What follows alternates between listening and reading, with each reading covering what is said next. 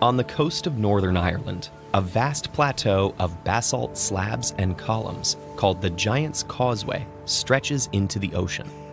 The scientific explanation for this is that it's the result of molten lava contracting and fracturing as it cooled in the wake of a volcanic eruption.